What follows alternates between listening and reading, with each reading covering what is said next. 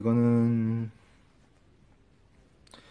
이거는 아빠가 여기를 좋아해가지고 여기를 음, 음 그래서 좀 약간 괜찮은 것 같습니다.